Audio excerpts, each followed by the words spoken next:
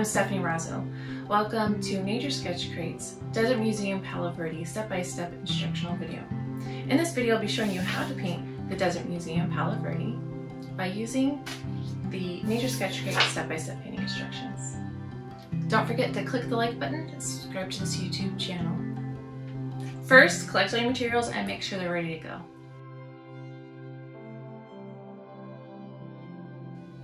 Remember, this is just a sketch. Take your time, relax, and have fun. Don't worry too much if you think you may have made a mistake. Let's get started.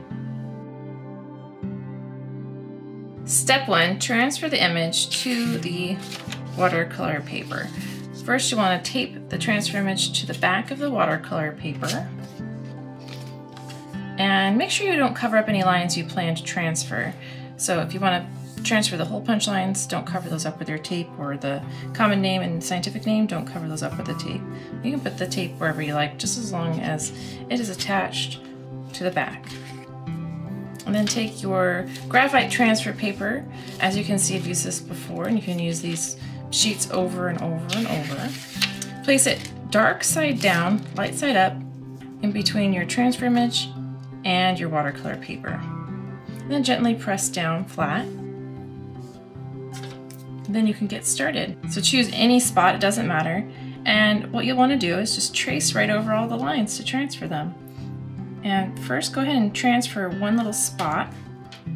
Gently hold it down when you check the line by picking up both the transfer image and the graphite transfer paper and looking at how dark that line transfers. You want to make sure it's actually transferring and um, that you're pressing hard enough. So uh, this is about right right here. So you want to be able to see it. You don't want it to be super dark but you want to be able to see it when you're done adding the paint so that you can redraw the lines at the end.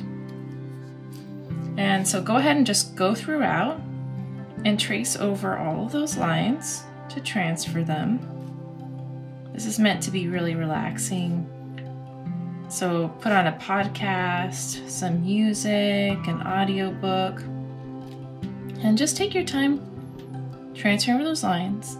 And if you get interrupted at any point, don't worry, you can come back to it at any time. You don't have to complete this in one sitting. You don't have to complete even this painting in one sitting. And if you don't draw over these lines perfectly, it's not a perfect tracing, don't worry about it. It's going to be imperfectly perfect and unique to you. This is just a sketch. Just a nice, relaxing practice creating this image. So just go throughout and trace over all the lines to transfer them.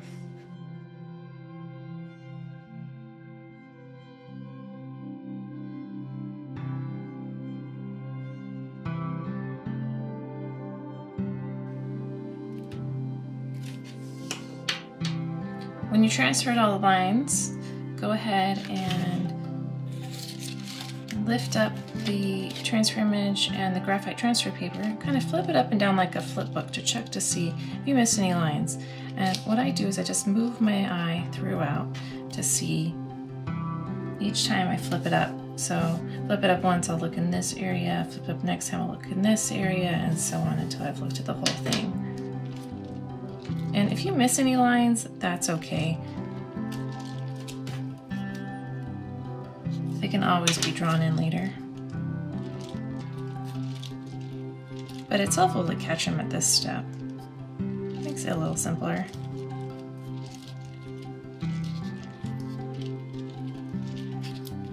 And then when you're done, go ahead and remove the graphite transfer paper, save it for future use and then gently remove the tape from the back of the watercolor paper.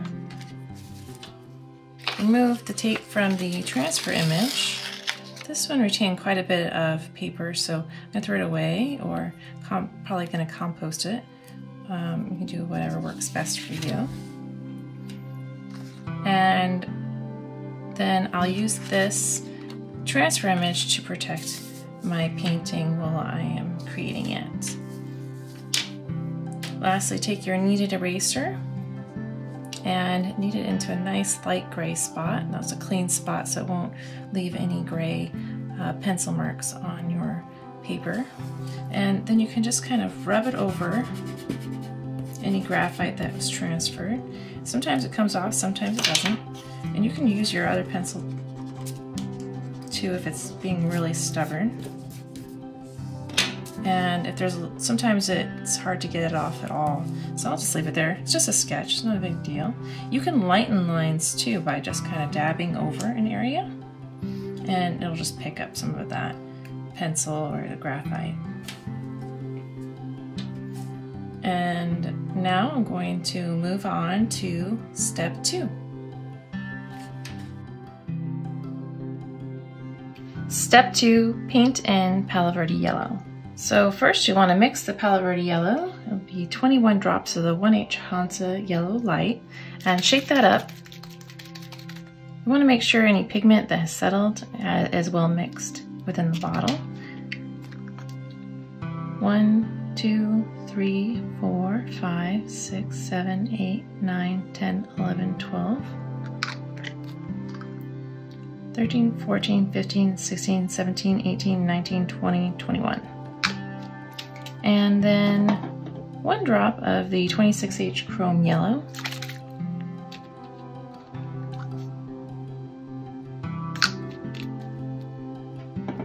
Go ahead and add a little bit of water to that. If you're using a traditional brush, you can just add it with your brush, picking up a little water from wherever you're keeping your water onto your brush and then into your palette.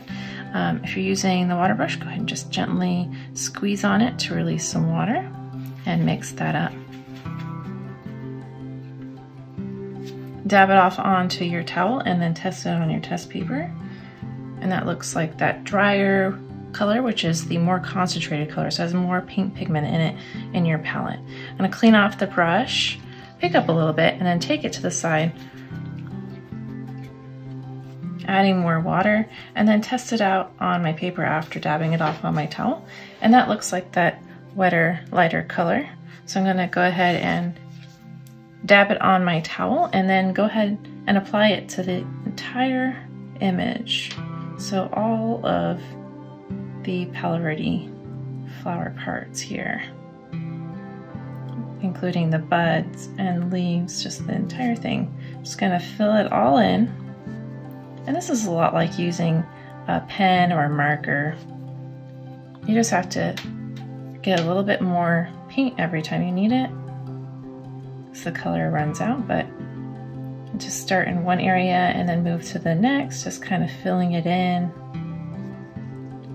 Whatever technique you use for coloring with pens or crayons or markers, it's the same kind of thing. So if you like to do the outside and then fill it in, you can do that. If you like to move from just one side to the other, you can do that. I like to work from one space to the next. Sometimes I like to outline, sometimes I just fill it in. Make sure you dab your brush off onto your towel after you pick up the paint from your palette. This helps control the amount of paint and water going to your paper. You don't want a bunch of water, go actual water going onto your paper.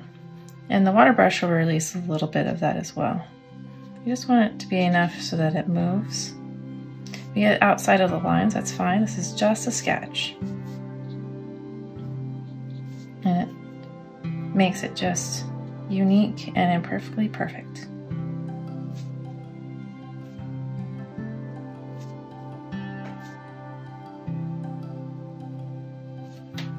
Then clean off your brush, let this dry, and move on to step three.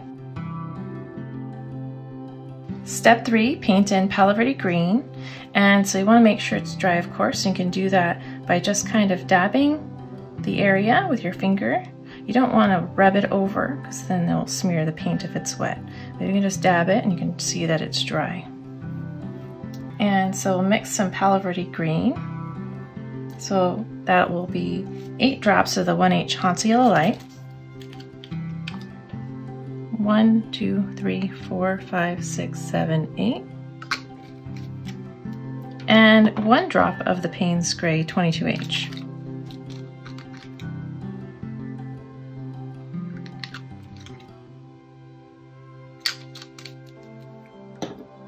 And go ahead and mix that up. Releasing a little bit of water again. Adding a little bit of water to that. And then dab it on your towel and test it out. Looks like the right color to me. And clean off my brush, take a little bit, and then bring it to the side, adding a bunch of water, and then testing it out again. It looks good. And then clean my brush off. I'm gonna take that color, the light, less concentrated, wetter, lighter color, pick it up on my brush, dab it on my towel a little bit, and then I'm gonna add it to the buds, just like I see in step three's image. And right here I have a little bit too much water, so I'll just dab it on my towel. And then continue.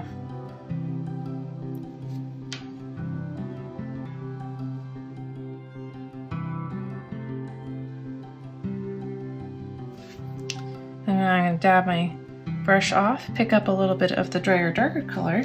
These are dry as well. I'm to dab it off on my towel, and then I'm going to add it just over all of these pinnae. Sure, the little leaflets and stems.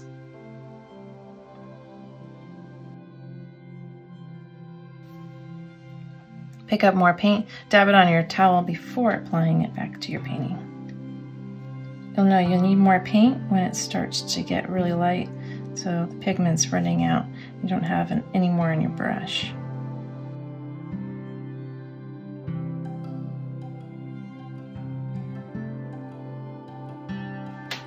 And when you have all of those filled in, go ahead and clean up your brush.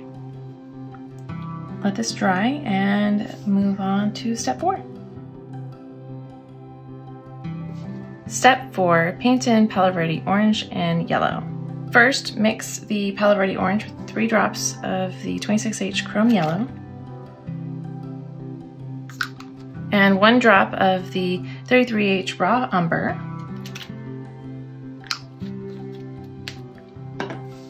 Mix it up, adding a little bit of water like before. Dab it off on your towel, test it out, looks good. Clean off your brush, pick up a little bit more, and then add it to the side with lots of water. And then test it out looks like the right color to me. So I'm gonna pick up a little bit more, dab it on my towel, and then go ahead and add it to the stamen like you see in step four's image. So I like to start with each uh, end, the anther, and then go down the filament. This gives me a nice starting point.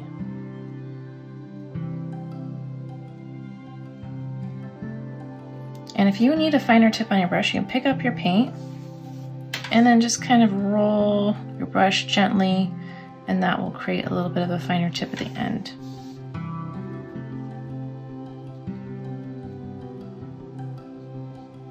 And don't worry too much about being exact. This is just a sketch, so wherever those lines are for those filaments and the anthers, just add them in, but don't be too worried about getting them exactly right.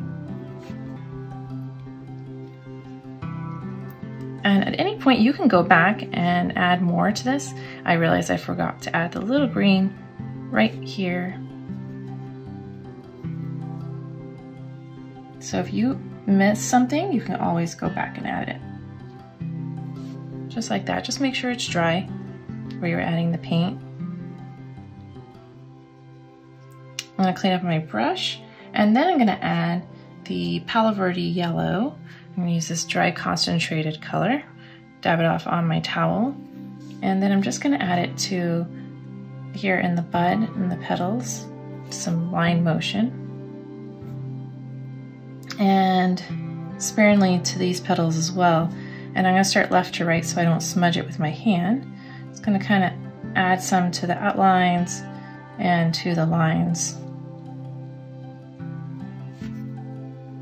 make sure that some of that lighter yellow color still shows through. And just let those lines that are on the petals be your guide. And pick up paint whenever you need it. And you can refer to your final reference image for placement and also your step four image.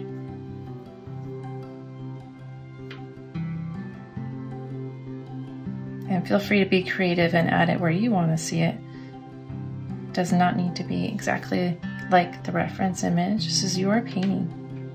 So feel free to make it your own.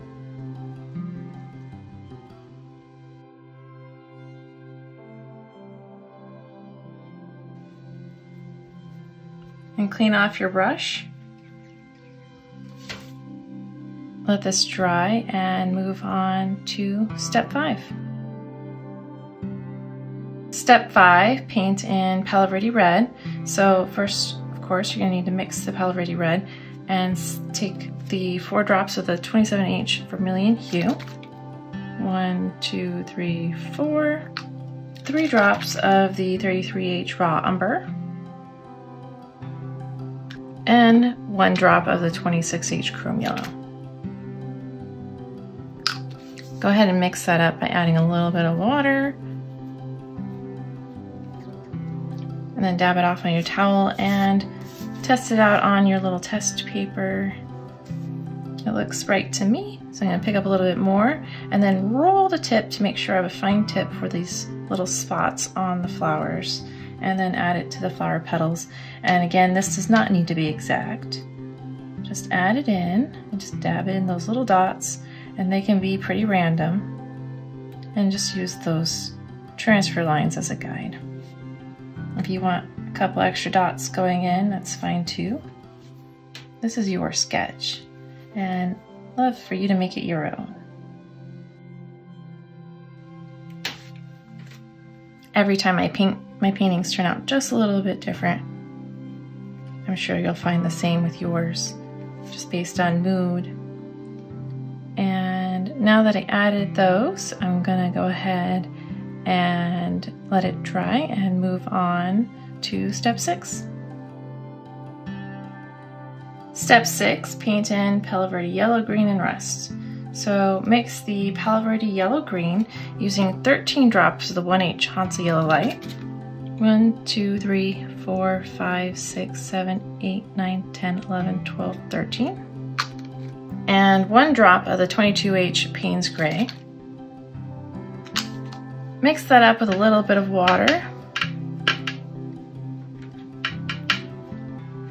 Dab it off on your towel and test it out on your paper.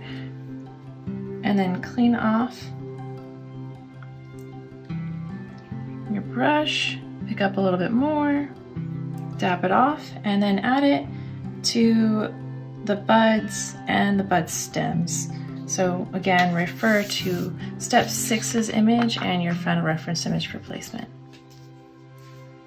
And uh, just like before, feel free to be creative and don't worry too much about getting it exact. Just place it in the same general areas or something similar.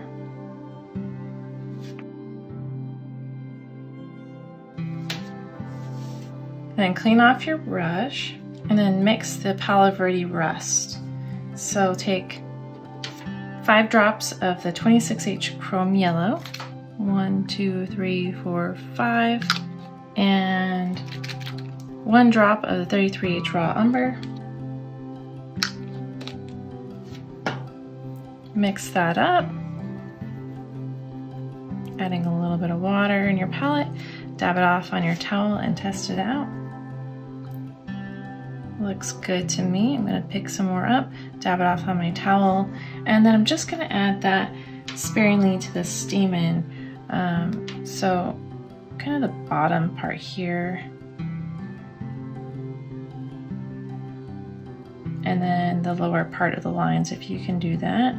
And again, not worrying too much about being exact, just this is just a sketch.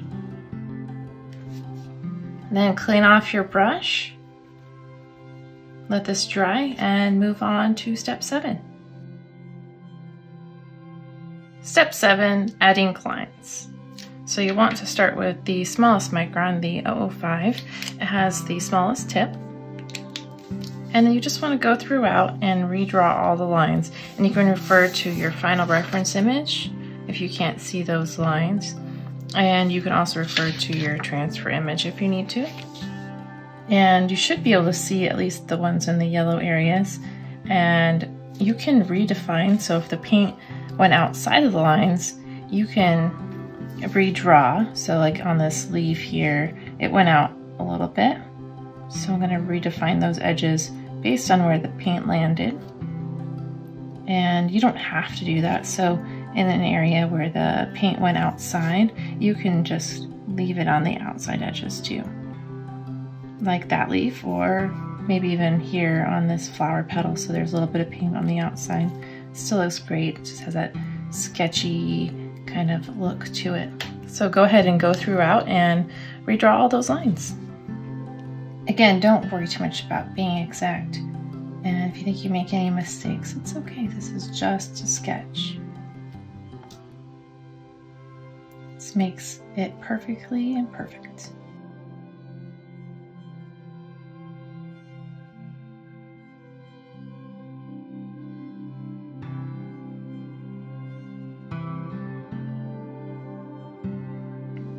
Next, you'll want to use the 01 Black Micron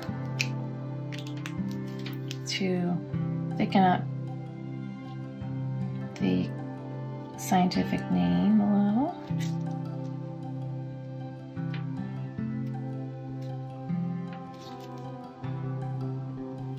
And then you'll also want to use it to thicken these petals in the bud, some of these inner bud lines, the upper bud stem lines, and the stamen like you see in your final reference image and your step 7-8 image. You can also go ahead and thicken up anything else that you feel needs this kind of medium thick line.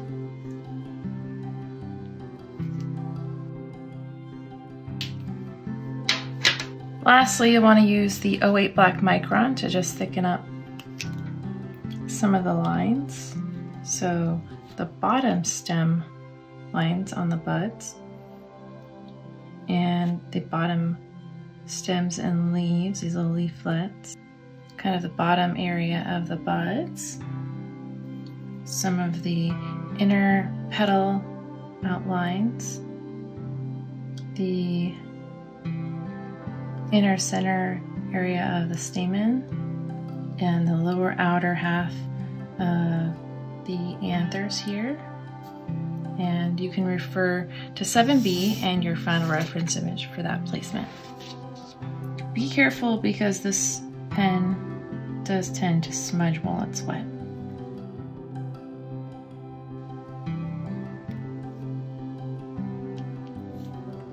The line variation, so the variation in from thick to thin, really makes the image pop and look more three-dimensional.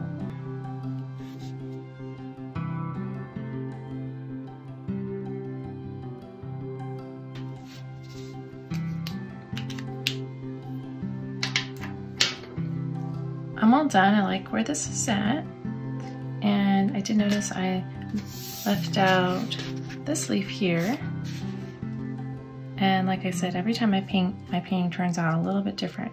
I like the way it is. So I'm gonna leave it just like that.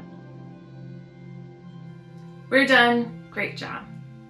You've created a unique painting that only you could do. Thank you for joining me. I hope you had fun creating your painting and a chance to relax a little. Next, you have some options what to do with this painting. You can punch holes in it and add to your sketchbook.